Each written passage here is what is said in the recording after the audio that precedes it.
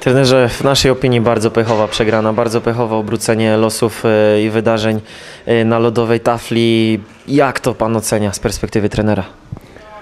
No myślę, że, że na pewno nie zasłużyliśmy w tym meczu na przegraną. E, Z przebiegu spotkania przez dwie tercje byliśmy na pewno zespołem, myślę, na pewno nie gorszym niż Jastrzębie, wręcz przeciwnie. Myślę, że, że, że byliśmy lepsi w tych przez dwie tercje, to, to nie można powiedzieć. Natomiast no, trzecia tercja, obrócił się ten mecz w zasadzie w sytuacji, kiedy zaczęliśmy dostawać kary i, te dwie kary, kiedy dostaliśmy bramkę na 3-3, grając z 3 na 5, potem, potem, tak, potem w zasadzie wydała ta końcówka, kiedy, kiedy, kiedy, kiedy kolejna kara przed, całą, przed całym końcem meczu i, i w zasadzie to te, te, te elementy zdecydowały o tym, że ten mecz się obrócił na naszą niekorzyść i, naprawdę no, bardzo żal, bo, bo w zasadzie to my mieliśmy wieść stąd trzy punkty, a przynajmniej, przynajmniej, przynajmniej, przynajmniej jeden czy dwa.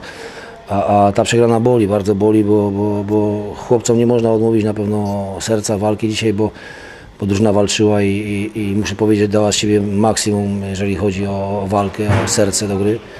No a taka porażka najbardziej boli, no bo w zasadzie w samej końcówce meczu, kiedy, kiedy, kiedy wydaje się, że mamy to już w rękach, że mamy szansę to dowieść do końca, dostajemy takie feralne bramki.